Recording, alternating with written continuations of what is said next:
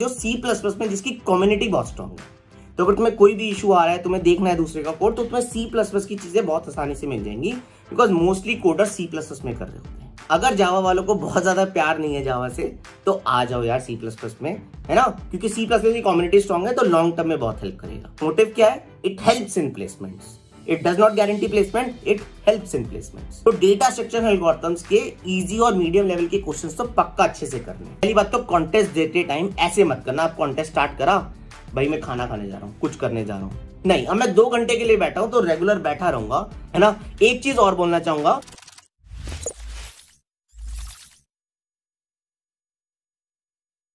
Hi my self फारिक here so यार, आज के सेशन में मैं एक बहुत ही इंटरेस्टिंग चीज़ के बारे में बात करने वाला हूँ। That is road map for competitive programming so competitive programming एक बहुत ही हॉट टॉपिक है and among students it is very famous क्योंकि बहुत सारे लोग कॉम्पिटेटिव प्रोग्रामिंग करते हैं। तो मैं आज उसका एक पूरा पाथ बताने वाला हूँ, है ना? एंड मैं एक पूरा फॉल्स प्रॉमिस नहीं करूँगा कि तुम कैंडिडेट मास्टर हो जाओगे कोड फोर्सेस पे या सिक्स स्टार हो जाओगे कोड चेफ पे। बट डेफिनेटली बहुत अच्छे से फ्लेवर ले लोगे कॉम्पिटेटिव फ़ार्मिंग का एंड अपना टाइम प्रोडक्टिवली यूज़ करोगे इन कॉम्पिटेटिव फ़ार्मिंग ठीक है? तो I will be discussing all the things what should be our motive behind competitive farming कौन सी लैंग्वेज में करना चाहिए? क्या प्री रिक्वेस्ट है? कैसे पाथ फॉलो करना चाहिए? कौन कौन से रिसोर्सेज हैं जहाँ से हम सीख सकते हैं? And the most important part कि कॉन्टेस्ट में पार्टिसिपेट करना कैसे होता है? ठीक है? तो मैं इन सब चीज़ों के बारे में बात करने वाला हूँ। तो एंड तक रहना and you will know all these things and you will know how to excel in computer programming तो चलो स्टार्ट करते हैं हम। तो सबसे पहले अपना फ़र्स्ट पॉइंट डिस्कस करते हैं that is what should be our motive behind competitive programming देखो कॉम्पिटेटिव प्रोग्रामिंग को प्लेसमेंट परस्पेक्टिव से बहुत ज़्यादा लिंक मत करना। मोटिव क्या है? हमारी प्रॉब्लम सॉल्विंग स्किल्स बहुत एक्सीलेंट हो जाएँगी। That will help help us in placements है ना?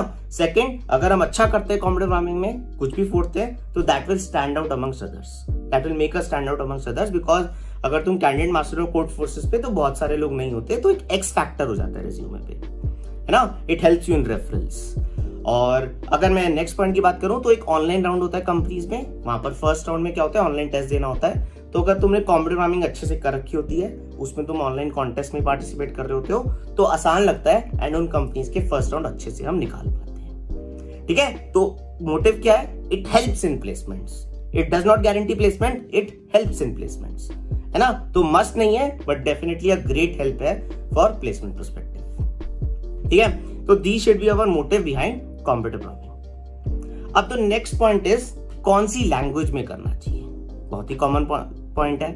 तो देखो, तीन लैंग्वेजेस होती है अपनी जनरली जिसमें कोड कर रहे होते हैं। C plus plus Java and Python C plus plus वालों को तो दिमाग ही नहीं लगाना चाहिए। सी प्लस प्लस में करते रहो। कॉम्प्यूटर प्रोग्रामिंग एक ऐसी चीज़ है जो सी प्लस प्लस में जिसकी कम्युनिटी बहुत स्ट्रॉन्ग है। तो अगर तुम्हें कोई भी इशू आ रहा है, तुम्हें देखना है दूसरे का कोड तो तुम्हें सी प्लस प्लस की चीज़ें बहुत आसानी से मिल जाएँगी because mostly coder C plus plus में कर रहे हैं। जावा। सो आई रिकमेंड अगर जावा वालों को बहुत ज़्यादा प्यार नहीं है जावा से तो आ जाओ यार सी प्लस प्लस में, है ना? क्योंकि सी प्लस प्लस की कम्युनिटी स्ट्रॉन्ग है तो लॉन्ग टर्म में बहुत हेल्प करेगा। जावा की भी ठीक ठाक है बट सी प्लस प्लस की ज़्यादा है तो अगर शिफ्ट कर सकते हो, बहुत ज़्यादा मुश्किल नहीं है। पंद्रह बीस दिन लगेंगे सी प्लस प्लस शिफ्ट हो जाओगे तो सी प्लस प्लस में कंटिन्यू कर लो कॉम्प्यूटर प्रोग्रामिंग पाइथन वाले, नहीं करो पाइथन में, बिल्कुल रिकमेंड नहीं करूँगा। जावा या फिर सी प्लस प्लस अगर तुम शिफ्ट कर ही रहे हो तो सी प्लस प्लस में करो।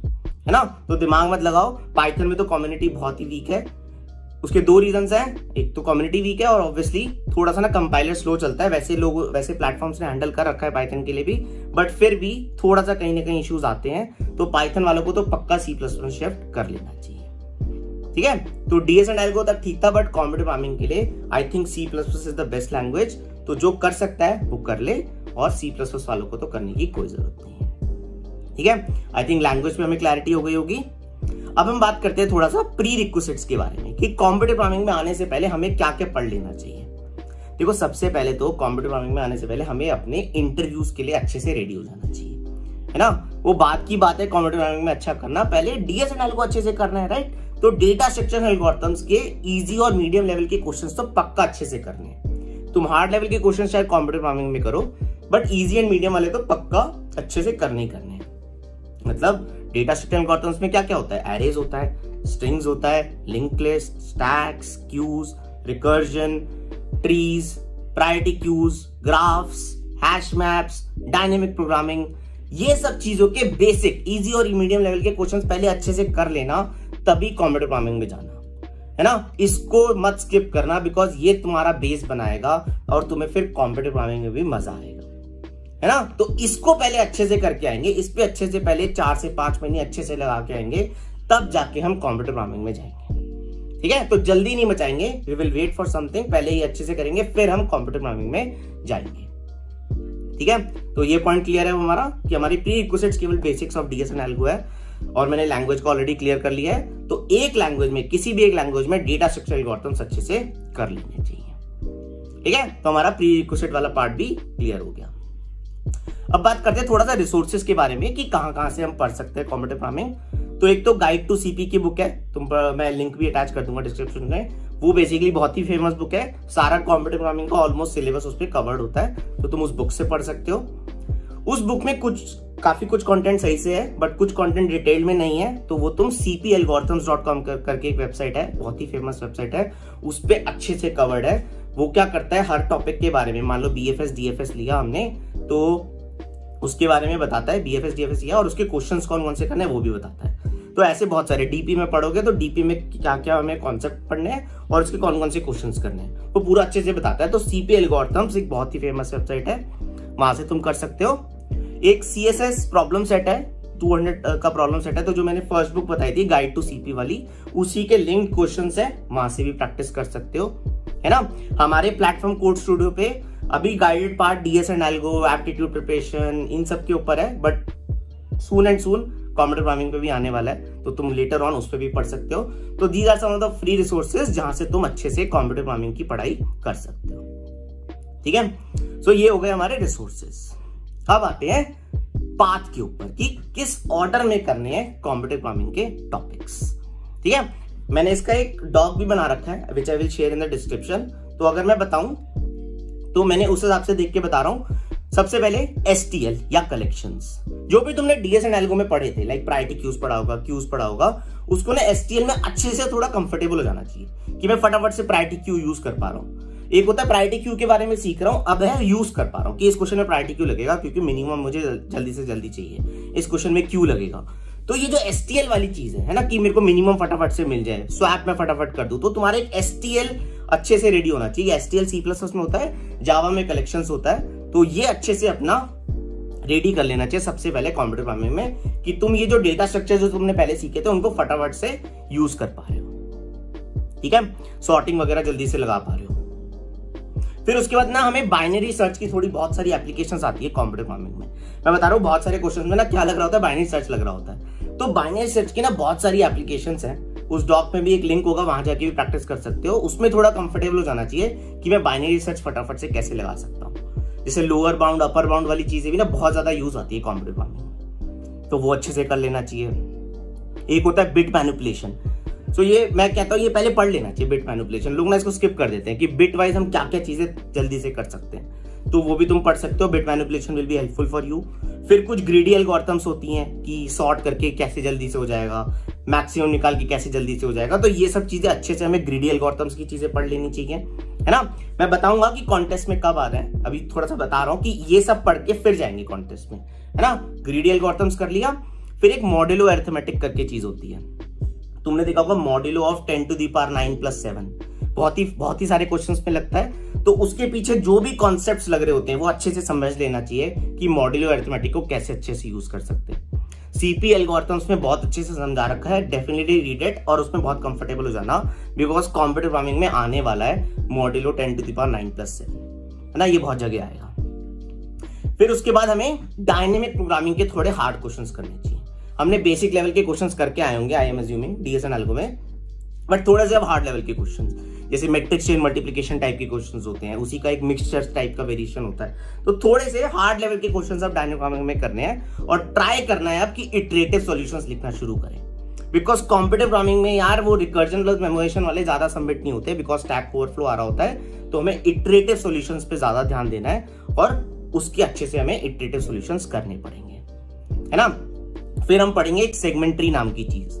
ये रेंज क्वेरी प्रॉब्लम्स में बहुत काम आती है कि मेरे को वन से लेकर थ्री इंडेक्स तक का ही आंसर चाहिए, है ना? या थ्री से लेकर फाइव इंडेक्स तक का आंसर चाहिए। तो सेगमेंट ट्री को थोड़ा अच्छे से कॉन्सेप्ट समझेंगे, उसमें लेजी प्रोपोगेशन कैसे यूज़ होता है वो अच्छे से समझेंगे। इस टॉपिक को अच्छे से कर लेंगे because that will help you in range query problems है ना? और उसके बाद एक ग्राफ्स है और एक नंबर थ्योरी है। ये दोनों मतलब पिलर्स हैं कंप्यूटर प्रोग्रामिंग के। ग्राफ्स का क्वेश्चन आएगा ही आएगा नंबर थ्योरी का क्वेश्चन आएगा ही आएगा। तो ये दोनों कॉन्सेप्ट बहुत अच्छे से करने होते हैं। है ना? नंबर थ्योरी में बहुत चीज़ें पढ़नी होती है, बहुत टाइप की थ्योरम पढ़नी होती है। सी वेरोस्थिनिस पढ़ना होता है है ना? तो ऐसी बहुत सारी चीज़ें पढ़नी होती है जो मैथ्स वाली चीज़ें होती हैं that will build our base कि जीसीडी कैसे जल्दी निकलता है है ना? उसके बेसिस पे बहुत सारे क्वेश्चन आते हैं कंप्यूटर प्रोग्रामिंग में। ग्राफ्स में डेक्स्ट्रा यूज़ करना, है ना? फ्लॉइड वार्शल यूज़ करना खान सेल गौतम पढ़ना, इसमें मतलब बेसिकली वो स्ट्रांगली कनेक्टेड कंपोनेंट वाली चीज़ होती है, वो अच्छे से पढ़ना होता है। तो ये ग्राफ्स नंबर थ्योरी भी अच्छे से पढ़ लेंगे। तो अभी तक हमने क्या क्या मेन चीज़ें पढ़ ली? बाइनरी सर्च की एप्लीकेशन बहुत काम आएँगी ग्रीडी एल्गोरिथम्स बहुत काम आएँगी bit manipulation modulo arithmetic dynamic programming segment tree graphs and number theory ये तुम्हारा बेस है कंप्यूटर प्रोग्रामिंग का। इन्हीं के अराउंड बहुत सारे प्रॉब्लम्स आएँगे। अब तुम्हारा बेस बन गया कंप्यूटर प्रोग्रामिंग का तो what you can do is now you can start participating in contest इससे पहले मत करना, पहले ये अच्छे से थोड़े टॉपिक हर टॉपिक के 10 से 10 प्रॉब्लम्स करने हर टॉपिक को सीखना कैसे प्रॉब्लम सॉल्व करके करना है ना? तो हर टॉपिक के कम से कम तुमने 10 से 15 प्रॉब्लम सॉल्व करे होंगे। अब जाके तुम कंप्यूटर प्रोग्रामिंग के कॉन्टेस्ट में पार्टिसिपेट करना स्टार्ट कर सकते हो। क्योंकि अब तुम्हें पता होगा अच्छे इसमें कैसे कैसे सोच सकते हैं। अब कॉन्टेस्ट पार्टिसिपेट करने के लिए मैं हाईली रिकमेंड करता हूँ कोड फोर्सेस है ना? कोड फोर्सेस क्यों रिकमेंड करता हूँ? बिकॉज़ उस पर ना सारे लॉजिकल लेवल के प्रॉब्लम्स होते हैं। कोड शेफ ना थोड़ा मैथमेटिकल ड्रिवन है। तो मैं केवल एक सिंगल प्लेटफॉर्म रिकमेंड करूँगा कोड फोर्सेस उस पर क्या होता है? मंथली छह से सात कॉन्टेस्ट हो रहे होते हैं। डिव थ्री बिगनर्स के लिए बहुत सही है है ना? डिव टू होता है डिव वन होते हैं, और भी दो तीन टाइप के होते हैं। कोड फोर्सेस तुम्हारा अच्छा बेस बनाता है है ना? इन कॉम्पिटेटिव फ़ार्मिंग क्योंकि तुम्हारे लॉजिकल लेवल के क्वेश्चन हो रहे थे तुम्हें समझ में आ रहा होता है अच्छा ये इसलिए चलेगा और ये इसलिए नहीं चलेगा। कोड शेफ में क्या है? यार मैथमेटिक्स है, नहीं पता तो नहीं पता। कोड फोर्सेस में क्या नहीं पता तो भी तुम सीख के आप समझ सकते हो और वो शायद फ्यूचर वाली प्रॉब्लम्स में अप्लाई कर सकते हो। है ना? तो पार्टिसिपेट करना आप शुरू कर दो कॉन्टेस्ट में और साथ साथ में कुछ एक्स्ट्रा टॉपिक्स बताने वाला हूँ, उसको पढ़ते रहो और कॉन्टेस्ट देते रहो। है ना? तो छह से सात कॉन्टेस्ट दे रहे होंगे, कुछ कॉन्टेस्ट फिर भी इजी होंगे, कुछ कॉन्टेस्ट मुश्किल होंगे। बट अब तुम्हें ये नहीं लगा, लगेगा कि कुछ भी नहीं हो पा रहा। है ना? तो थोड़ा वो मोमेंटम स्टार्ट हो जाएगा। तो जो एक्स्ट्रा टॉपिक जो साथ साथ पढ़ने हैं, वो कौन कौन से हैं? एक तो एक तो स्ट्रिंग प्रोसेसिंग है मतलब K M P algorithm managers algorithm ये थोड़े इंपॉर्टेंट कॉन्सेप्ट होते हैं। एक डीपी विद बिट मास्किंग बहुत अच्छे से पढ़ना होता है ना, वो बेसिकली काफ़ी जगह यूज़ होता है। गेम थ्योरी है ना? कॉम्पिटिशनल ज्योमेट्री फेनविक्ट्री फेनविक्ट्री के इंपॉर्टेंट कॉन्सेप्ट है, जैसे सेगमेंट्री पढ़ा था, वैसे ही रेंज क्वेरी प्रॉब्लम्स के लिए कहीं कहीं जगह फेनविक्ट्री यूज़ हो जाता है। कुछ mix problems of dynamic programming and graphs कर सकते हो, वो थोड़ा थोड़ा सा तुम्हें कंफर्टेबल करेंगे। और H L D and F F T ये ऑप्शनल है बहुत रेयर है इसका क्वेश्चन है but H L D and F F T के भी क्वेश्चन आ सकते हैं। ये एक्स्ट्रा टॉपिक्स है जो साथ साथ पढ़ते रहो बट अब कॉन्टेस्ट में पार्टिसिपेट करना शुरू कर दो। किसके बाद से? ग्राफ्स एंड नंबर थ्योरी जैसी उस पाथ में कवर हो गया था तो अब हम कॉन्टेस्ट में पार्टिसिपेट करते रहेंगे। छह से सात कॉन्टेस्ट मंथली देंगे कोड फोर्सेस पे देंगे और साथ साथ इन टॉपिक्स को थोड़ा लर्न करते रहेंगे। है ना? तो, तो हमारा थोड़ा स्टार्ट हो जाएगा अब कंप्यूटर प्रोग्रामिंग में काम करना। अब हम कॉन्टेस्ट में पार्टिसिपेट कर रहे हैं। अब कॉन्टेस्ट से में पार्टिसिपेट करना कैसे चाहिए? है ना? हाउ वी शुड पार्टिसिपेट ये तो मैंने बता दिया कोड फोर्सेस पे दे रहे हैं। छह से सात कॉन्टेस्ट दे रहे हैं। अब कॉन्टेस्ट दिया। पहली बात तो कॉन्टेस्ट देते टाइम ऐसे मत करना। आप कॉन्टेस्ट स्टार्ट करा, भाई मैं खाना खाने जा रहा हूँ, कुछ करने जा रहा हूँ। नहीं, अब मैं दो घंटे के लिए बैठा हूँ तो रेगुलर बैठा रहूँगा। नहीं हुआ चाहे एक भी क्वेश्चन बट दो घंटे लगाऊँगा। ठीक है? दिमाग लगाता रहूँगा और करता रहूँगा जब तक क्वेश्चन नहीं होते। लगे रहो लगे रहो पेन एंड पेपर अपने साथ रखो। सारे प्रॉब्लम्स पेन एंड पेपर से ही सॉल्व होंगे। सारा लॉजिक लगाना है। तो पेन एंड पेपर अपने साथ रखो, दो घंटे बैठो और बैठ के सोच के खुद कोड करो। छह क्वेश्चन आए थे, हो सकता है दो हो हो सकता है एक ही हो। जितने हुए बहुत अच्छा है, अब उनको भूल जाओ, वो क्वेश्चन कभी भी हो जाते। जो क्वेश्चन नहीं हुए, उसका एक एडिटोरियल आएगा। अब उस एडिटोरियल में सबसे पहले टॉपिक देखो, किस टॉपिक पे जस्ट क्या तुमने वो टॉपिक पढ़ रखा है? अगर पढ़ रखा है तो मार्क करो। ठीक है, मैं इस टॉपिक को एक बार रिवाइज करके आऊँगा और फिर से फिर से इस क्वेश्चन को प्रैक्टिस करूँगा। अगर नहीं पढ़ रखा तो मार्क करो और टॉपिक को मैं पढ़ के आऊँगा। है ना? तो मेरे को एक टॉपिक है लर्निंग के लिए, एक टॉपिक है रिवाइजिंग के लिए। दोनों में पढ़ के आऊँगा एक बार टॉपिक को और मैंने मार्क कर लिया, इस क्वेश्चन को दोबारा प्रैक्टिस करूँगा। है ना? तो और ऑब्वियसली एकदम कॉन्टेस्ट के बाद नहीं करना है। कॉन्टेस्ट के अगले दिन करो बिकॉज़ कॉन्टेस्ट में दो घंटे पूरा दिमाग लगा लिया। अब थोड़ा तुम्हारा दिमाग बंद हो जाता है तो कॉन्टेस्ट के अगले दिन जाओ। जो क्वेश्चंस नहीं हुए उसमें टॉपिक देखो, क्या पढ़ रखा है या क्या नहीं पढ़ रखा। अगर नहीं पढ़ रखा तो मैं पढ़ के आऊँगा तो अपने बकेट लिस्ट में डाल दो कि मेरे को ये टॉपिक पढ़ना है और उसके बाद ये वाला क्वेश्चन प्रैक्टिस करना है। अगर पढ़ रखा है तो उस क्वेश्चन को, अगर वो टॉपिक पढ़ रखा है तो उस टॉपिक को एक बार रिवाइज करके और फिर उस क्वेश्चन को प्रैक्टिस करो। ठीक है? That should be your like अब सॉल्विंग तुम्हारे को बेटर होने में हेल्प करेगा। ठीक है? अब अगर क्वेश्चन आया और अभी भी नहीं हो रहा तो एडिटोरियल पूरा पढ़ो उसका। पूरा अच्छे समझो और खुद से कोड करो। दूसरे का कोड मत देखना, खुद से कोड करो, पूरा एंड तक प्रॉब्लम सॉल्व करो और जब तक सबमिट नहीं हो जाती, लगे रहो। है ना? क्योंकि अब तुम्हें कॉन्सेप्ट समझ में आ गया, तुमने सॉल्यूशन देख लिया है। अब कोड कर रहे हो। अगर अभी भी कोड नहीं हो रहा तो पूरा कोड एक बार देख के किसी और का फिर सॉल्व करो, फिर सबमिट करो और एक मार्क कर दो कि मैं इस क्वेश्चन को पंद्रह दिन बाद दोबारा करूँगा। बिकॉज़ ये मुझसे नहीं हुआ था। अगर एडिटोरियल देख के कोड करके हो गया तो दैट इज़ गुड इनफ है ना? बट अगर एडिटोरियल देखने के बाद कोड भी नहीं कर पा रहे हो तो just see the code market कि मैं इस क्वेश्चन को 20 दिन बाद दोबारा करूँगा। This strategy this overall strategy will help you a lot in excelling the contest तुमने कॉन्टेस्ट दिया, उससे सीखना भी है है ना? कि जो क्वेश्चन नहीं हुए कौन कौन से उससे तुम्हें पता लगेगा कौन कौन से टॉपिक्स पढ़ने और कौन कौन से टॉपिक्स को रिवाइज करने रिवाइज करा क्वेश्चन सॉल्व करा, नहीं हुआ तो देख के दोबारा सॉल्व करा और 20 दिन बाद दोबारा देखना मतलब दोबारा से उसको सॉल्व करा, है ना? अगर टॉपिक नहीं पढ़ा हुआ तो टॉपिक जाके पढ़ा, फिर उस क्वेश्चन को प्रैक्टिस करा, फिर से वो स्ट्रैटेजी फॉलो करी। नहीं हुआ तो एडिटोरियल देखा कोड करने की कोशिश करी। नहीं हुआ तो पूरा कोड करने, पूरा कोड करा देखकर, और फिर उसको 20 दिन बाद के लिए मार्क कर दिया कि भाई मैं इसको दोबारा क्वेश्चन को करूँगा। है ना? So this is how you will excel in competitive programming तुम्हें समझ में आ जाएगा, और ऐसे अगर तुम चार पाँच महीने के लिए अपने प्रोसेस बना लेते हो तो I take a guarantee competitive में इंप्रूव बहुत ज़्यादा हो जाओगे क्या कैंडिडेट मास्टर बन जाओगे? क्या सिक्स स्टार एट कोचर बन जाओगे? नो वो बहुत इंडिविजुअल लेवल पे है। उसमें क्या तुम कॉन्टेस्ट में फोड़ते हो, नहीं फोड़ते हो तो वो उस पर बहुत डिपेंड करता है। है ना? तो उसकी मैं गारंटी नहीं लूँगा बट कॉम्पिटिव आर्मी में डेफिनेटली इंप्रूव बहुत ज़्यादा हो जाओगे। है ना? एक चीज़ और बोलना चाहूँगा कॉन्टेस्ट का वेट मत करो। अगर तुम्हें लगता है थोड़ी और प्रैक्टिस करनी है तो कोर्ट फोर्सेस पे एक वर्चुअल कॉन्टेस्ट होते हैं, जो पुराने कॉन्टेस्ट है, उनको तुम एज ए लाइव कॉन्टेस्ट दे सकते हो। तो जब भी तुम्हें टाइम मिले कि मैं दो घंटे यार मैं कॉन्टेस्ट देना चाहता हूँ रेगुलर हैबिट बनाओ सॉल्व करो क्वेश्चंस और वो कॉन्टेस्ट की हैबिट डाल दो जिससे कि तुम जब एक्चुअल लाइव कॉन्टेस्ट आए उसमें अच्छे से फोड़ दो। है ना? सो so, ये मैंने एक पूरा पार्ट बता दिया है which you can do in competitive programming I think that will definitely help you in excelling in competitive programming इसको अच्छे से कर लेना चार से पाँच महीने लगेंगे और तुम बहुत अच्छे हो जाओगे कॉम्पिटिव फ़ार्मिंग में। ठीक है? चलो थैंक यू